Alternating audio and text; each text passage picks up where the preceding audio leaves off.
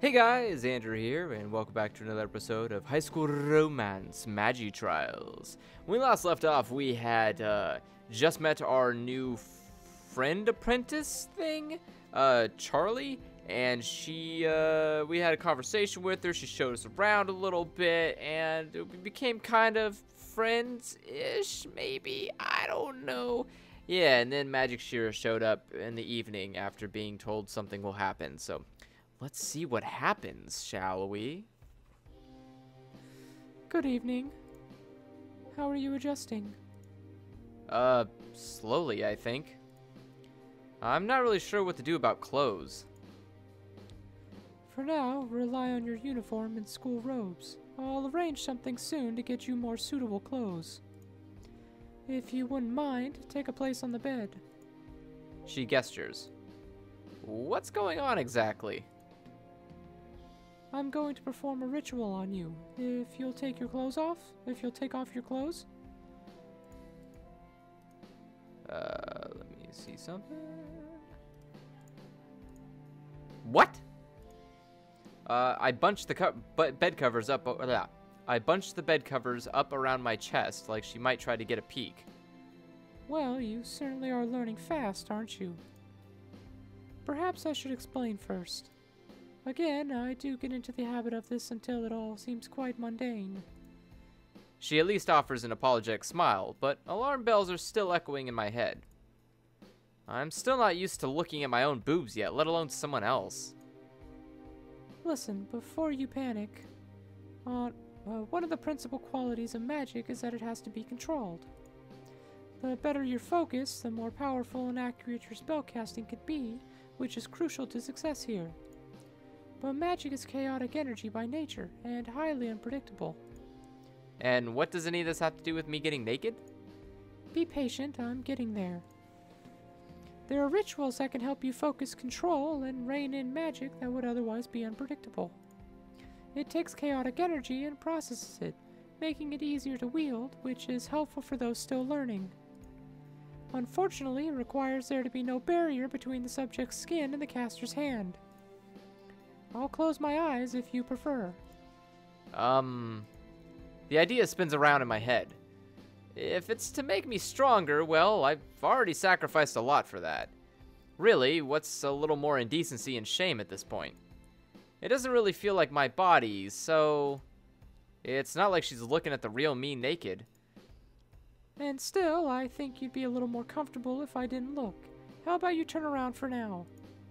Nervously, I strip off my outer layer of clothes as Magi Shira circles me, pacing slowly around the bed. My breath hitches on in my throat. Does she have to do this so so sensually? She she reaches out, a soft hand grazing over the bare skin of my arm. Beneath it, I can feel the magic sinking in, a deep and warm tingling spreading through my veins. Wait a second. Okay. Ch Chotomate. Did you just try to do a once do a do a quickie on me just now? Did you just try to take the scene that we had a couple episodes ago when she was putting on my magic clothes for me and then just did that scene again, but this time poorly photoshopped her eyes closed? That is an awful Photoshop job. Look at that. You can see where they like where they clearly were trying to just like brush away some of like trying to make the same you know like face brushes.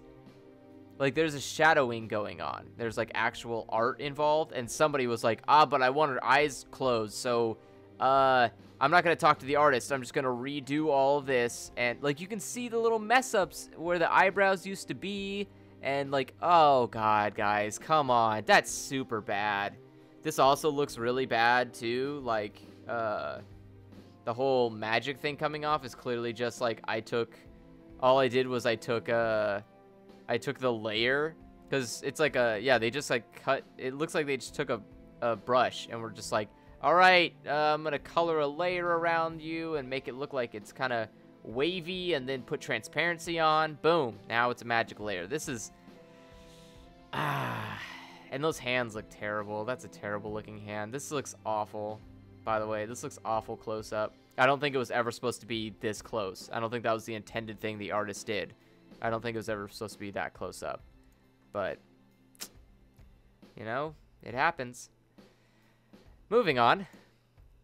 Wherever it seeps, heat follows, and then a, drow uh, then a drowsy numbness. Oh. It's a bit of a strange sensation at first. She offers me a small smile. Do I have to take off my underwear too? No, there's no need to touch every inch of your skin, just enough to balance the energy. There. Her voice has grown so soft, it almost lulls me to sleep by itself. Yeah, see, okay, that looks a lot better when you zoom out. When it's like completely zoomed in, it doesn't look nearly as good, but it's still weird to look at. In any case, yeah, this is clearly just the same scene as before because we're not even in the bedroom anymore. Now we're like literally back in the bathroom where we were before. So like, yeah, this this isn't even the, the freaking bedroom. And if it is, we're not laying on the bed like she said we were. Ah. In any case, um, her fingers move all, uh, move over my collarbone and then slide across the front of my bra. My cheeks flush warmly as that tingle settles into places unexpected. Is is this is that supposed to happen? My embarrassment keeps me from asking any questions as her hands trail down and curve along my navel. Warmth pools there after her touch and tingles low, uh, low, uh, tingles low between my legs. Ugh. This can't be normal. Desperately trying to distract myself from the strange, phantom sensation controlling, uh, coiling in my belly, I do the thing I do best when nervous. I run my mouth. It's a lucky thing the school gives us underwear, I guess. They don't. Wait, what? Those are mine. I had them brought here with the uniform. I knew you wouldn't have any after all. Th th th th th these are your panties? They're clean, I promise. No need to look so traumatized. That's not really the problem. Has she forgotten that once upon a time, aka yesterday, I was a guy? A complete, authentic, vaguely perverted guy? And despite the physical difference, I don't think that has changed much. I decide to just keep my mouth completely shut as her hand wanders back up.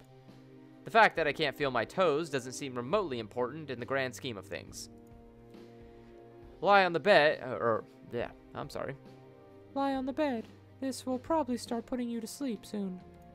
Are you going to tuck me in and read a bedtime story too? The sarcasm isn't appreciated. Her fingers touch against my forehead, and the dizzying, warm sensation suddenly clouds over my senses.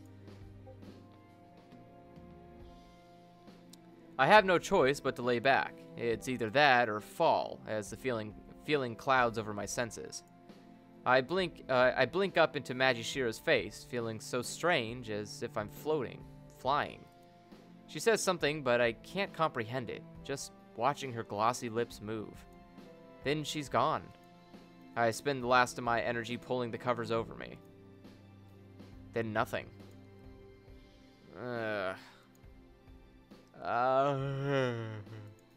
A feeling of peaceful, drowsy wakefulness sweeps over me as a bell chimes distantly in the school. My body feels so light, I don't want to move at all, knowing it'll, uh, uh, knowing it'll shred the, uh, shred the thin, comfortable veil of sleep still wrapped around my mind. Whatever Magishira did last night, I highly recommend it. As much as that's creeping on you is really stroking my ego here, we gotta go. Uh, I jolt upward. Charlie? Hello? Why are you here? I knew you'd be out of, uh, yeah. I knew you'd be out of it and oversleep. Uh, I thought it might actually do you a favor and you, so you won't be late. Uh, you know, to make up for how honest I was yesterday. Uh, but, but, but how did you get in here? Didn't Shira lock the door on the way out? This is a school of magic, you know. Locks aren't exactly the biggest hindrance. Uh, well, that's reassuring. Get up. Uh, my feet remember what it's like to move as I scramble up, and then realize how much skin I'm showing. Don't look! I stumble like a newborn calf towards the bathroom, my legs not yet catching up with the rest of my body. I end up sprawled uselessly across the floor, staring up at the ceiling until a pile of cloth falls over my face. Huh, okay. That's weird. Here's your robes, by the way. Uh, we're practicing magic today, so you'll want to show up in those. Uh, better get ready quick, otherwise I'm bailing and heading to class on my own. Uh, I'd give you instructions to get there, but you probably get so lost we never see you again. Uh, bye. Uh. Why does my only classmate have to be a jigsaw puzzle of cryptic intentions? I can't decide if she wants to befriend me or just wants the be best seat possible as she tortures me. But as I glare up at the ceiling, a firm determination settles over me. If she wants to test me, then fine, let her. I'll pass. I get ready in what must be record time. Even pulling what must be, uh, be another pair of Magishira's panties out of the drawer doesn't slow me down. I scrub down, uh, scrub down until my skin is pink, mouth set in a grim line as I refuse to let anything, anything at all, distract me. Post shower, I flick out a towel, magic sending a wave of heat through it as I scrub it onto my hair and dry it. And dry it. And dry it some more. How long does this take? Alright, forget it. I wring out as much excess water as I can with my hands, then pull on my robes.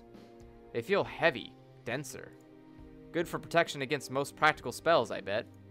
With an efficiency that would probably make the Royal Guard proud, I finish getting ready and head toward Charlie's dorm. About time, uh, let's go. Uh, about time. About time? I'm practically out of breath. But I try not to show it, following Charlie through the hallway. And then right to the same classroom that Magishira showed me yesterday. How would this have been difficult to find? It wouldn't have. I just wanted to get you out of your room faster. Dang, girl. She slides her hands into her pockets with a smug grin. You're too easy, uh... And you're... you're... Here early. Excellent. Charlie's smug look only intensifies as she turns towards Magishira, too. I couldn't hear the click-clack of her approaching heels over the sound of the steam whistling out of my ears. Standing straight and firm, Magishira observes us both. Good, you look prepared. Now follow me. As these are our first lessons together as a group, we will be practicing in the arena. It will be good for both of you to get used to this place in case you pass your, your entrance test as next year you will have to spend a lot more time in here in battle. Really? Yes, as you should know by now, the primary event that goes on in the school is the Magi Wars tournament. Here we are. Charlie and I have been doing some basic drills before you joined us, Sophie. And just as with Charlie, I always start my students out on defensive drills. It's paramount that you be able to protect yourself if you're expected to go to complete uh, to compete in the Magi Wars. I nod in understanding. Summon a defensive barrier. This is it. This is really it. My first magic lesson of the academy. Focus, focus, focus. I will my magic outward in an arc, forcing it to replenish over and over. Mine ripples with waves of power, while Charlie's appears more like a gridwork of connected intense, uh, intense lines. Why does hers look so much different? You have good instincts, Sophie, but unacceptable. Unacceptable? Instincts aren't always enough. The blast of magic strikes before I can even react, launching me backwards. It does it doesn't have half of the power as it did when we actually sparred, but it still ended up in a heap. Or but I still ended up in a heap. Why didn't it work? I glance up, surprised, as Charlie extends a hand over me. I take it and pull myself up with a wince. So much for a good impression. A rookie mistake. You perform defensive spells as if you only read about their most basic properties in a textbook. Your magic fluctuating, and even its pattern was predictable. Striking at the right moment allowed me to knock you back as if you had no defense at all. Notice how Charlie's defenses don't have any have that flickering quality, as she's doing the spell correctly. The praise causes the girl to flash a pleased grin at me, the webbed barrier throwing patterns of light over her face. Structuring your defense makes it more solid, less prone to flickering. Magic is more complex than I had realized. I will have you practicing this until you reach perfection. There is no room for laziness in my classroom. Now again. Charlie and I work as if we're training for the Royal Guard, rather than a simple initiate test. Is she always like this? Shira goes on about how the magic feels, about the slight movement and the concentration that are required to form a perfect shield in an instant. And this is just day one. Jeez. But for all its difficulty, I wouldn't trade studying it for anything. After a desperate hour of practice and shame, I finally get my shield too and at least resemble the one Charlie had been using, or had been practicing. I'm not going to let her show me up, not on the first day. We will change things up now that you both understand the skill. Charlie, test Sophia's defenses yourself. See how she fares against your assault. What? I'm Charlie's punching bag all of a sudden? Sophie, feel free to attack or defend. Simply win the fight with no severe harm. You're testing your abilities to attack and defend, not create a bloodbath with each other. Is it just my imagination, or does Charlie seem a little disappointed about that? Man, I've got to watch my back with this one. I glance over at my new rival. Uh, well, don't hold back, I guess. Hold, hold back for you, uh? Wouldn't dream of it, uh. I smirk in return. Good, you won't be able to afford to. She scoffs playfully. Hope you have a high pain tolerance and brought some bandages with you, uh. It's gonna be a bumpy ride once I knock down that lump of a shield, uh. You talk a lot. Means you're better at making threats than carrying them out. Good. Keep underestimating me. I like it that way, uh. Makes your expressions all the better when I knock you on your... Um, Right, back to business. let's see what you've got then. We stand apart from each other, taking our respective places. Charlie's smile, infuriating as it is, stays in place as she, star- as she stares me down. When you're ready. Three, two, one, begin. Charlie's spell breaks off from her hand, a stream of missiles striking the front of my barrier. Her smile turns into a grimace at the resistance, before another series of basic attacks leave her fingertips. I brace for them, willing the magic to make, the, make a solid, cohesive grid. The strikes hit, uh, hit in close succession, uh, as I will. Yeah. The strikes hit in close succession, as I will all my power to reinforce the shield, until the last strike dissipates. It hits so hard, my teeth chatter in response as the shock vibrates along my arm. I fend each attack off, but drop the shield a moment later. My wrist hurt to the bone. Excellent job, Sophie. As we get more specialized in shields, you'll learn how to direct your magic to repel in smaller, more concentrated areas. Covering your entire body with a defense isn't economical. Or- yeah, economical. As you realized, you couldn't hold it for very long. Hmm, you were having some performance issues there. Don't talk about my performance.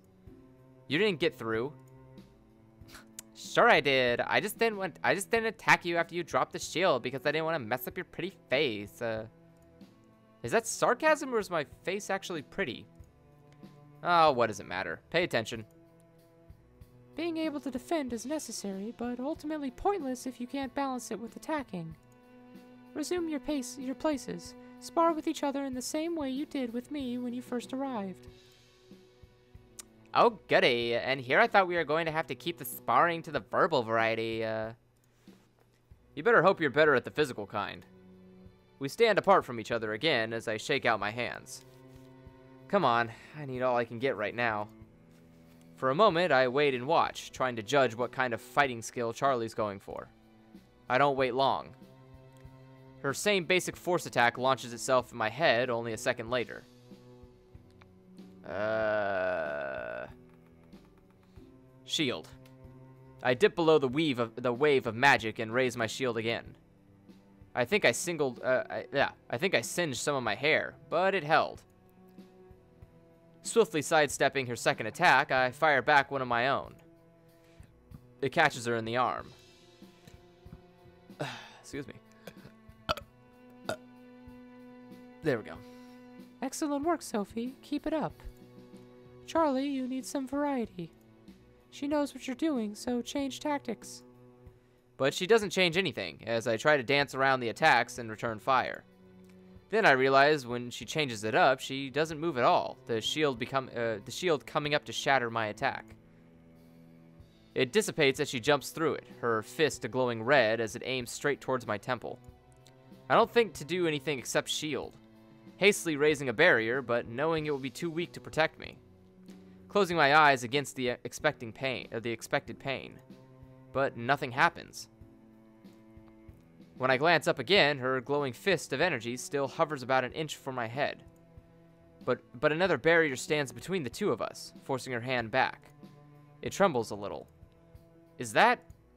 Shira is watching us passively from the side, not seeming to have interfered. Then, taking charge of this new power, it feels heavy and uncertain, like a newly discovered limb that's always been asleep. But with a powerful surge, I manage to push Charlie back, away from me. My magic surges over her, blasting her into the ground. Well then. Impressive. Shira has moved forward to the end of the uh, to the uh, to end the fight. Where did you learn to do that, Sophie? Uh, I didn't. It just, it just kind of happened. Hmm. Shira tilts her head at me, staring at me with such intent. I start to shrink beneath her beneath the gaze. Did I do something wrong? Charlie punches the ground as she gets up. I want a rematch, uh... Now, now. You've antagonized each other enough. You are both under my tutelage. You will be expected to work together. A little friendly rivalry never hurt anybody, uh... Nevertheless, we'll do it. We'll do it. Yeah. Next, we'll we'll next do a team building exercise for the sake of you two not slaughtering each other. But first, you should both know the appropriate spell to sort out your clothes. Both of us realize the state of our robes and quickly go about summoning the power to repair the damage. Good. Now, instead of guarding yourself, you will practice guarding another person. This technique involves projecting your magic further and maintaining the same steady control and equal dispersion. No weak spots, Sophie. I nod. The stakes are always higher when other people are involved. We're prone to getting clumsy and act rashly without a thought. These are impulses you can't give into. The stakes may be higher, but your odds are also better. We run through the through a series of drills, working on shifting our magic further from ourselves and relying less on the physical sensation of holding the shield in place. It's tricky, but I seem to pick it up faster than Charlie, whose shield keeps flickering out of existence two uh, about two feet from her. Come on, this is the one thing I actually need you to be better at than me. Magishira ignores our complaints and bickering with a stony expression and an intense silence until we both succumb to the look and refocus. All right, Sophie. Cast a shield around Charlie. Yes, ma'am. Succeed or bust. Shira, uh, Shira readies herself to attack, and I don't have any time at all to prepare. My hands fly together, stumbling through the motions as fast as possible. A white flash, uh, white light flashes from my hands, but as the white spots disappear, instead of seeing a shield, I can see something very different. Uh, wh- what? Uh, Oh my. It takes her a long moment to realize, searching each of our faces, or searching each of our faces with confusion. Sophie, what the hell did you do? Uh. Uh. Oh boy. Uh. I utilized the element of surprise, and boy, did I get a surprise. Charlie stands there stunned, but I can't help but stare. She doesn't even make an attempt to cover up, which just invites my stupid ogling. When you said succeed or bust, uh, this really wasn't the bust I had in mind, I swear. And though I'm fully braced to be punched in the mouth, Charlie just starts laughing. Talk about an icebreaker. If this is what team building exercises are like, I want to do more of them. How did you manage this? Uh, I have no answer. I knew I was doomed, but I didn't think you'd make me die half naked. Uh, She glances down at herself. Do you feel committed to Team Spirit now, uh? She gives a playful little shake, despite the color that's uh, tinting her cheeks. If only she knew who she was really showing off to. I think this is a good team strategy, don't you? No one will see it coming. It's the perfect way to gain the upper hand. Well, aren't you just a tactician all of a sudden? Uh, if I didn't know any better, I'd say you like it. Uh, I do like it. And I shouldn't be liking it, uh, liking like, yeah, I shouldn't be liking this at all. And Shira, oh gods, Magi Shira probably realizes just how terrible I am. Does this count as taking advantage of Charlie's ignorance? Probably. It probably counts as a lot of things. Namely sexual harassment, but let's not get too specific. I try to look away, studying the ceiling for, for the patterns on the floor with intensity. But none of those things have supple curves and a penchant for snarky, dry comments. Really, though, how did you manage to mess, this, mess up this badly? Uh, please tell me you meant for this to happen. Uh, I'm not even upset. Uh, I think I'm beyond a definable range of emotions at this point. Uh, you were supposed to defend me. Instead, you took away the only defense I had. Uh, I'm not that terrible. I just... Th that's not how it's supposed to work. What with your first clue? Uh, she shakes her head. Blushing, I glance down at my hands in bewilderment. Man, how did I even do that? I might need this for, for future reference or something. Purely academically, of course. You didn't even get rid of my clothes. I just can't see them. Uh, she rustles fabric that doesn't appear to be there. Sophie changed the properties of the robe. She didn't get rid of the robe herself. Even Shira looks a bit flustered, and isn't she the one who always is the one always going on about being used to seeing naked students or whatever? This is seriously the weirdest school. I'm gonna fit right in. Can you fix it, or do I have to learn magic in my underwear from now on? Uh,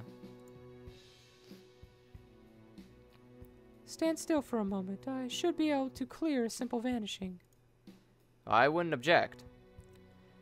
To my mild disappointment, a few muttered words and Magi Shira has Charlie's robe back intact. Alright, now show me how you did it. It was an accident. Why do you need to know? Because fair's fair. Uh, no! Why are you so much more docile with your clothes off? Alright, that's it. Uh, a fireball goes goes streaking past my head and nearly takes my nose uh, takes my nose and eyelashes with it. Shira sighs. Students, please avoid setting each other on fire. We spend the rest of the afternoon trying to advance our defense spell, uh, defensive spells and not turning anyone's clothes invisible. That's the sad part. I can't even recreate it if I try. N not that I did try or anything. Reluctant and sore, Charlie and I change and drag ourselves into the dining hall at Magi Shira's in, uh, insistence. I'm too tired to look at food, uh... I'd rather use my tray as a pillow, uh...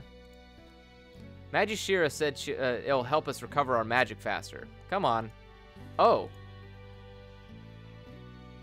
Well then. I glance up hastily, meeting a disapproving stare that chills my blood. Uh... Mage Warren.